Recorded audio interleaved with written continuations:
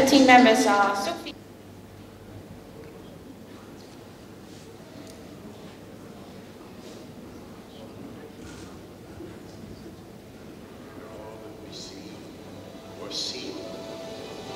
But a